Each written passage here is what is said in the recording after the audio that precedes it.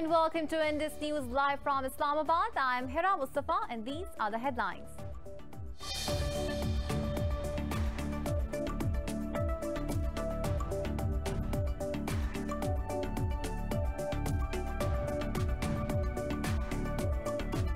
In Afghanistan, 13 people have been killed and 20 others wounded in a suicide bombing near an education center in Kabul. Earlier, the government said the Taliban killed six security guards in southwestern Nimruz province. In another incident, nine people were killed by a roadside bomb in eastern Ghazni province. The Taliban have denied involvement in the attacks.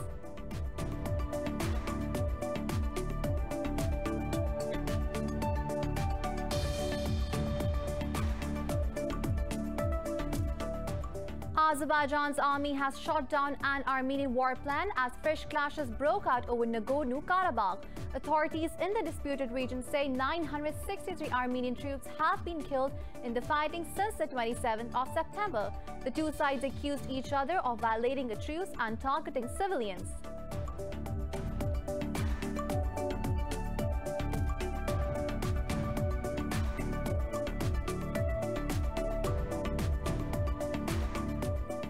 Iran's foreign ministry has denounced a normalization deal between Sudan and Israel as fraudulent. The ministry accused Khartoum of paying a ransom in return for Washington removing it from a list of states sponsoring terrorism. The deal makes Sudan the third Arab country after the UAE and Bahrain to normalize ties with Israel in the recent months.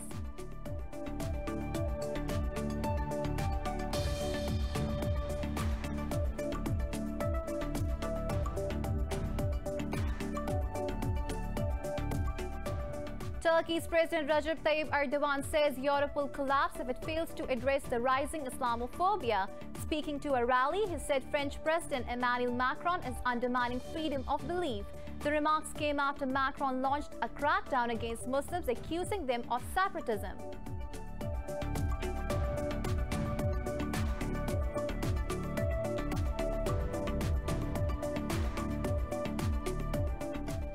The US has recorded its highest daily COVID-19 cases as more than 83,000 people have tested positive overnight. India's infections have crossed 7.8 million with over 53,000 new cases and 650 deaths in a day.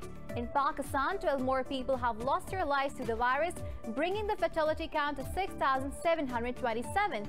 The number of global COVID-19 infections has topped 42 million with more than 1.14 million deaths.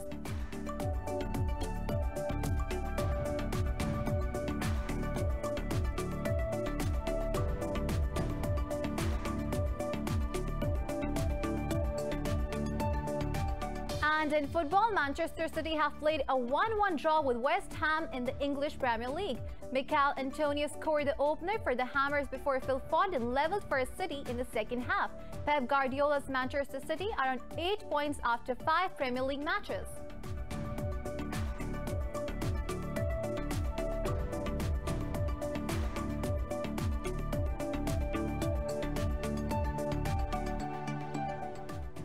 Well, these were the headlines, news in detail coming after a short break.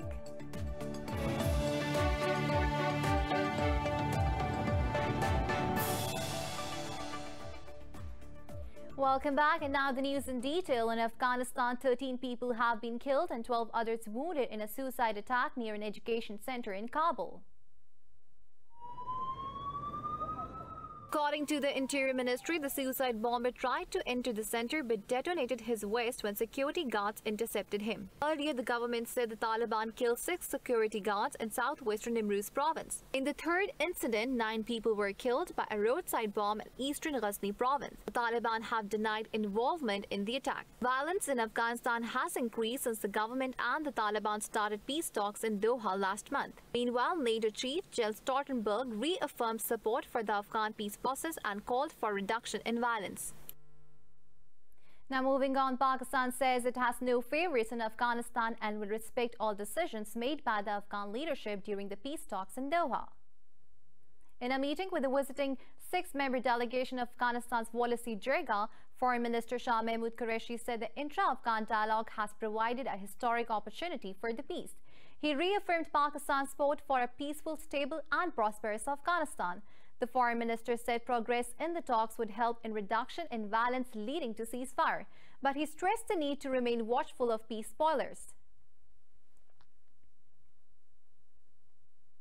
Azerbaijan's army has shot down an Armenian warplane as fresh clashes broke out over the Nagorno-Karabakh.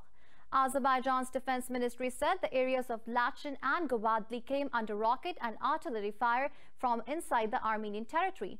Authorities in the disputed region say 963 Armenian troops have been killed in the fighting since the 27th of September. The two sides accused each other of violating a truce and targeting civilians. This comes a day after U.S. Secretary of State Mike Pompeo said met for foreign ministers of the two countries in an attempt to end a nearly a month-long bloodshed. Nigeria's President Muhammadu Buhari says 51 civilians and 18 security forces have been killed in unrest in the country. In a statement, President Buhari blamed protesters for the violence. He says security forces use extreme restraint as the peaceful protests have been hijacked by the thugs and rioters. Buhari said another 37 civilians have been injured as the mayhem has not stopped yet. The president warned protesters against undermining national security and law and order. The protests turned violent on Wednesday after the military's shooting a day earlier. Mobs vandalized and burned police stations, courthouses, while police fired tear gas to disperse them.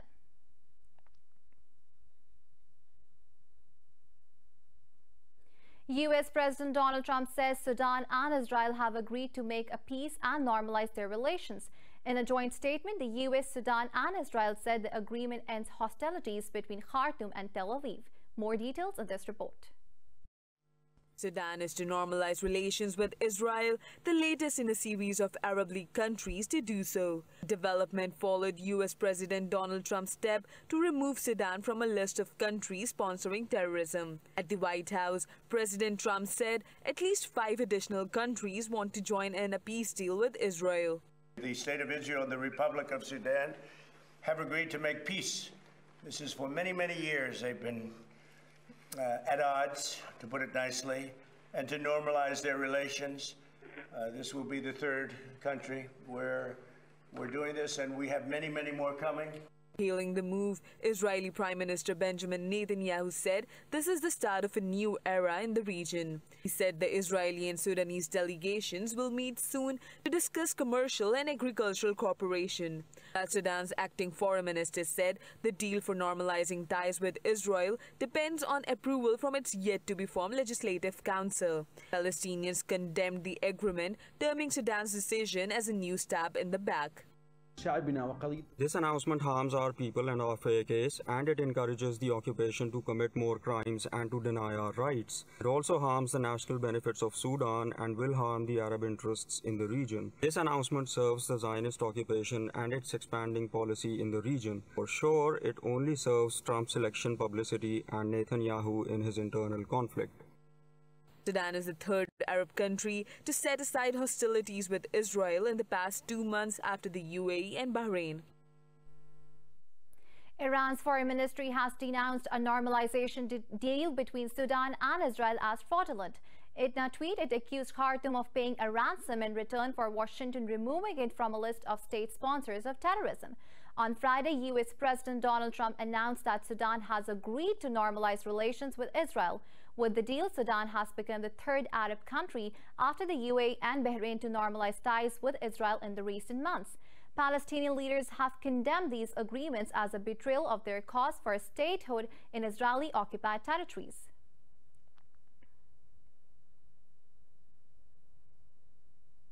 Israel says it will not oppose U.S. sales of specific weapon systems to the UAE, referring to the American F-35 fighters.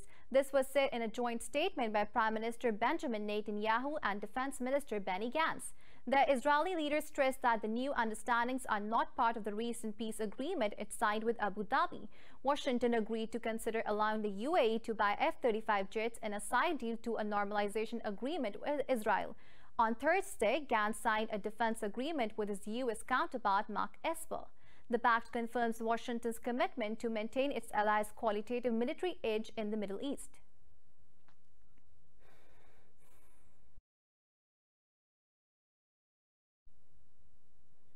Turkey's President Recep Tayyip Erdogan says Europe will collapse if it fails to address the rising Islamophobia.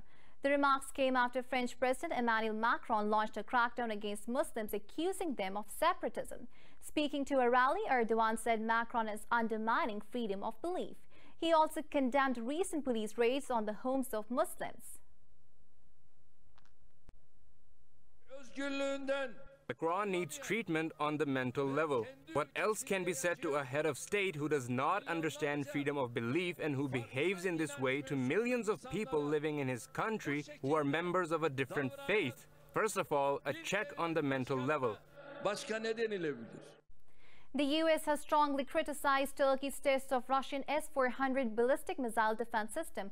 In a statement, Pentagon spokesman Jonathan Hoffman said the test can harm the Ankara-Washington security relations. Hoffman said an operational S-400 system is not consistent with Turkey's commitments as a U.S. and NATO ally. Earlier, Turkish President Recep Tayyip Erdogan confirmed that Ankara has conducted the test of S-400 on October 16. He said Turkey doesn't need to take permission from the U.S. on this matter. U.S. President Donald Trump's administration has been trying to pressurize Ankara to cancel the S-400 purchase.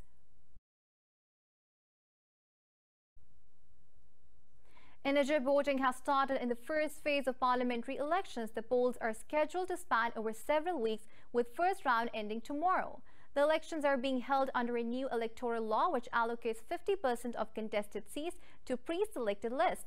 In the second national elections this year, the country will be electing 568 seats out of 596 in the lower house of parliament from Saturday.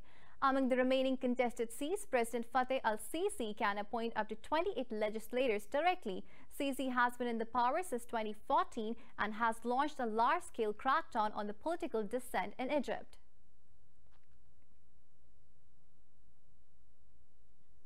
Ethiopia says it will not cave to aggression over the dispute of Nile water supplies. Prime Minister Abiy Ahmed office said threats to efforts for resolving the dispute are clear violation of international law.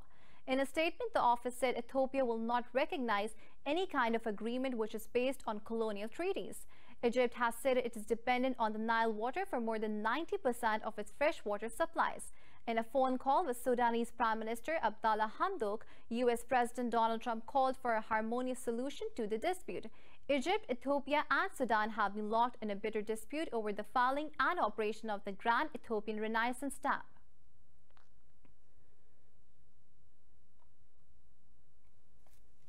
Well, now it's time to talk, take a short break. Stay tuned.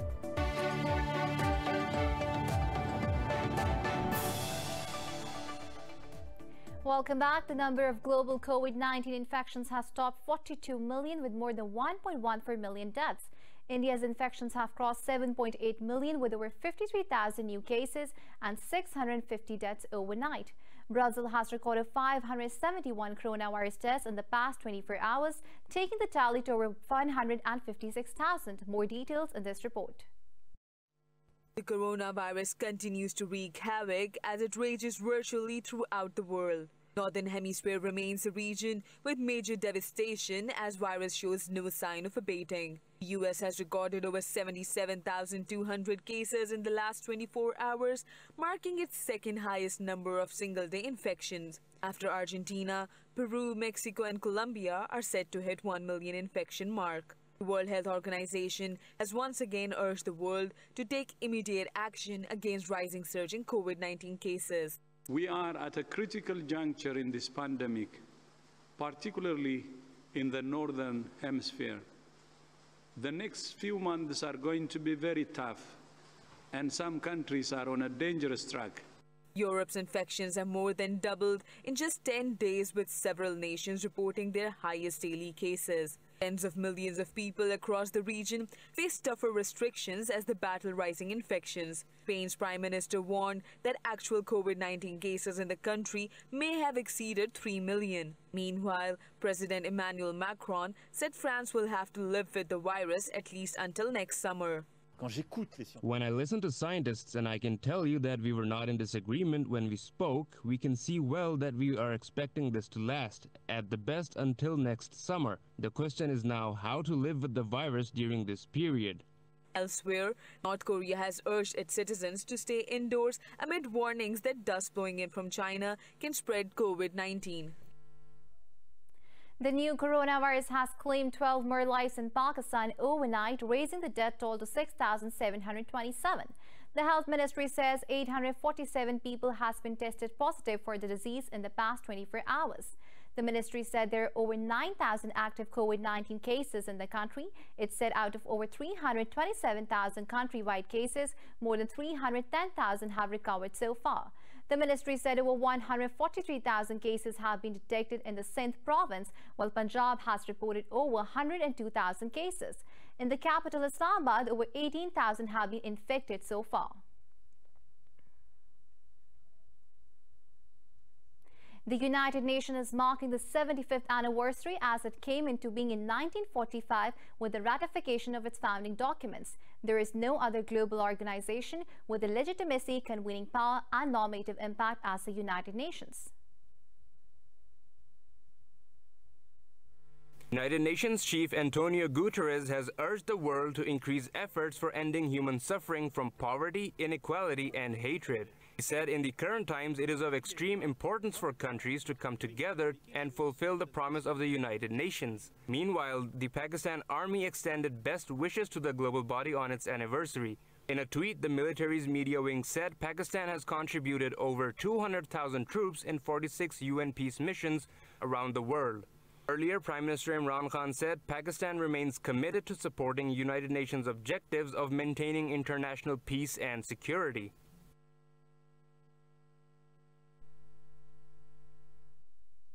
The 73rd founding day of Azad Jammu and Kashmir government is being observed today. Kashmiris have pledged to continue struggle until liberation of Indian-occupied Kashmir and accession of the whole territory to Pakistan. More details in this report. Kashmir Foundation Day is being observed throughout the state with simplicity following COVID-19 measures.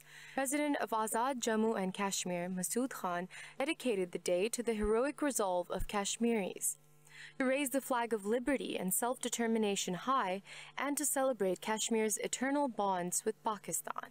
Prime Minister Raja Farooq Haider Khan called upon the UN to play its leading role in resolving the long-standing dispute. Meanwhile, Pakistan's President Arif Alvi also urged the international community to implement the UN Security Council resolutions.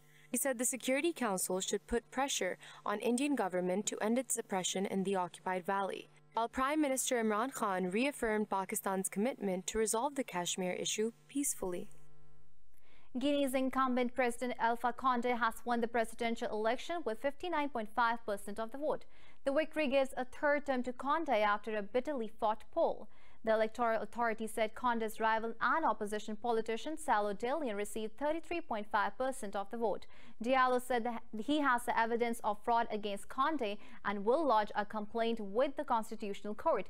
Earlier, the president pushed through a new constitution allowing him to bypass a two-term limit for presidents.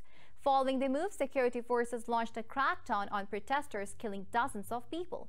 The violence sparked condemnation by the U.S. and other countries.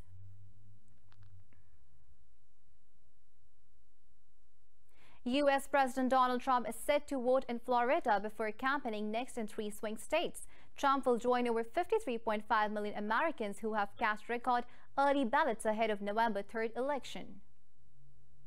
U.S. President Donald Trump and rival Joe Biden have begun a sprint through the final 11 days until Election Day. U.S. Elections Project says the November 3rd polls can witness highest voter turnout in over a century. The surge in early voting is a sign of intense interest in the contest. Several states have expanded in-person early voting and mail-in ballots as a safer way to vote amid coronavirus pandemic. Meanwhile, Democratic nominee Joe Biden is heading to the battleground state of Pennsylvania for two events. Former President Barack Obama will campaign in Florida on behalf of his former vice president. Although Biden leads Trump nationally, opinion polls show a much closer race in crucial battleground states that will decide the election. Trump will hold rallies in North Carolina, Ohio, and Wisconsin after casting his ballot. Malaysia's King Al Sultan Abdullah will consult political leaders today to discuss proposals by Prime Minister Muhyiddin Yassin. In a statement, Presidential Place said the Premier had asked the King to declare a state of emergency in the country. It said King Abdullah understands the need for leadership amid resurgence of coronavirus cases. Meanwhile, opposition leader Anwar Ibrahim denounced the proposals presented by Muhyiddin. He said Muhyiddin is trying to avoid showdown in Parliament House by presenting emergency proposal. Council of Rulers comprised of Malaysia's nine royal houses has the power to withhold law and question national policy. In Chile, clashes between police and anti-government protesters have erupted in the streets of the capital, Santiago. The latest unrest started just days before a referendum to decide on a new constitution. Riot police used tear gas and a water cannon to disperse the crowd. The demonstrators have been demanding a new constitution while protesting in the streets. In the upcoming refer referendum, voters will choose whether to reject or accept the drafting of new constitution. Interior Minister Victor Pérez said the plebiscite is a way for Chileans to resolve their differences. Opposition argues it is unnecessary to change a document that has made Chile one of the most stable economies in the region.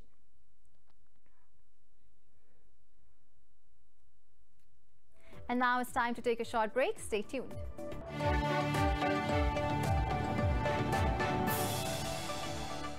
In Cambodia, the death toll from flooding and landslides caused by heavy rains has risen to 39. The National Committee for Disaster Management said 38 people are still missing. It said around 483,000 people have been impacted by the floods and landslides. Heavy rains and floods also ravaged neighboring Vietnam, where at least 84 people have been killed in the past week.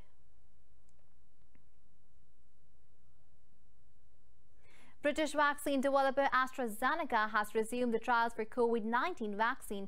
AstraZeneca said the U.S. trial of its experimental vaccine is starting after the approval of regulators. AstraZeneca paused its U.S. trial on September 6 after a report of a serious neurological illness in a participant.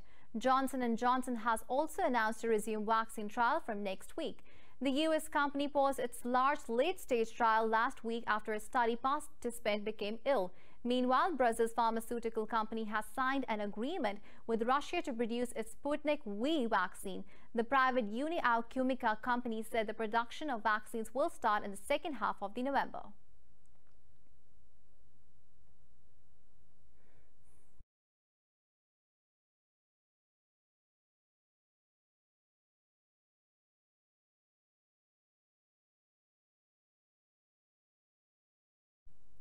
Residents of India's capital Delhi say the city has become a gas chamber as it continues to record poor air quality. According to the U.S. Embassy in New Delhi, the air quality index stood at hazardous category with the reading at 310.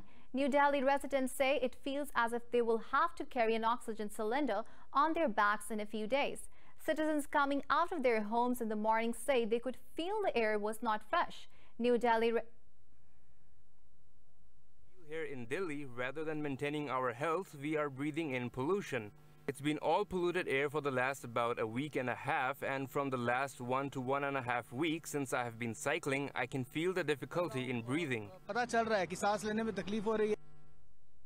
In the U.S., Colorado has seen three of its largest wildfires in state history occur this year, two of which are still growing. An explosive wildfire has forced evacuations of several mountain communities in the state. The blaze has caused the closure of Rocky Mountain National Park as it burned another 45,000 acres. This comes in addition to more than 1 million acres of wilderness in Colorado have deemed off limits to the public.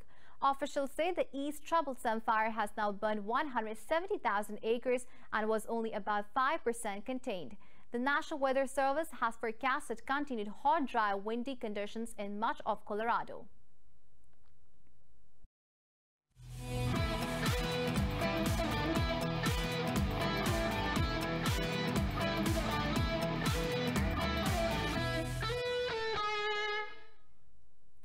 In football, Manchester City have played a 1-1 draw with West Ham in the English Premier League. Michail Antonio scored the opener for the Hammers before Phil Foden leveled for City in the second half.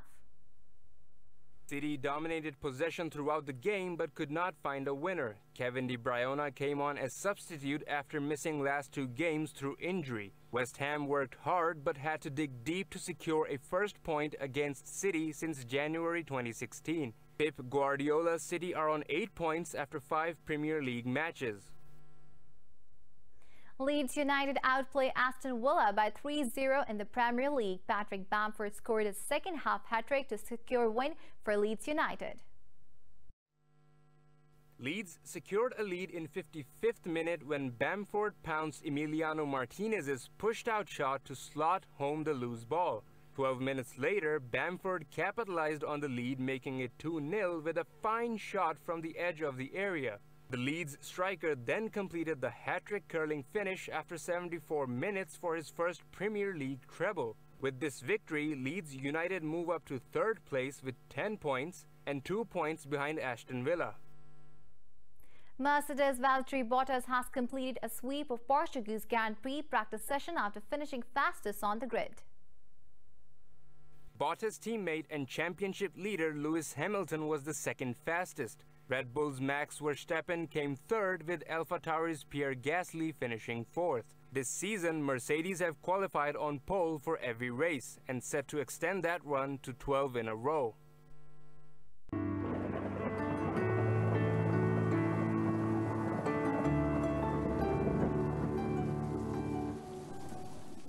And now it's time to have a look at the weather update across the globe.